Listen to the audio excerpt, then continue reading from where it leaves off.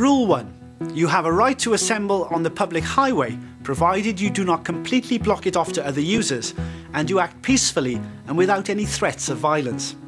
However, the police can impose conditions, but only if they reasonably believe that the conditions are necessary to prevent serious public disorder, serious damage to property, or serious disruption to the life of the community.